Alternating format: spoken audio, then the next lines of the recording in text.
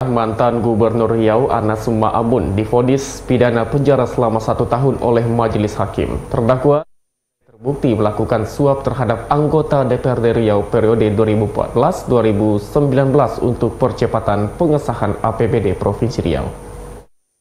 Sidang yang digelar di Pengadilan Tindak Pidana Korupsi Pekanbaru mengagendakan pembacaan putusan terhadap mantan Gubernur Riau Anas Ma'amun. Majelis Hakim Tindak Pidana Korupsi atau Tipikor Pekanbaru menyatakan terdakwa terbukti secara sah dan meyakinkan melakukan suap kepada sejumlah anggota DPRD Riau periode 2014-2019 untuk mempercepat pengesahan rancangan anggaran pendapatan belanja daerah perubahan atau RAPBDP tahun 2014 dan Rancangan Anggaran Pendapatan Belanja Daerah atau RAPBD tahun 2015 dengan besaran sekitar 1 miliar rupiah lebih. Untuk itu, Majelis Hakim menjatuhkan pidana penjara kepada Anas Ma'amun selama satu tahun dan denda sebesar 100 juta rupiah atau subsidiar dua bulan kurungan penjara. Menanggapi putusan dari hakim, mantan orang nomor satu di bumi lancang kuning tersebut menyatakan menerima vonis hakim.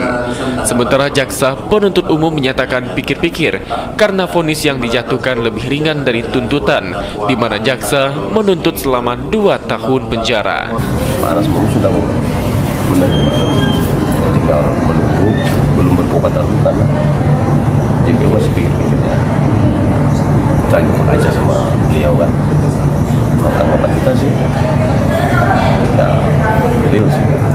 Kayak kita cuma beliau juga sudah menjalani kemampuan dalam perkara ini kita perlu bijaksana dari CPU harapan beliau sih permohonan beliau diterima sudah jelas tidak ada lagi mohon tidak ada lagi kan baik kan kalau pernah apa mungkin berpendapat lainnya tetap kita berharap sih tidak ada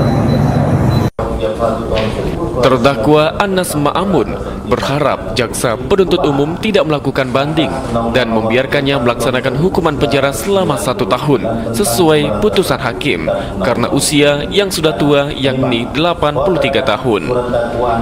Irwansyah TVRI Riau melaporkan.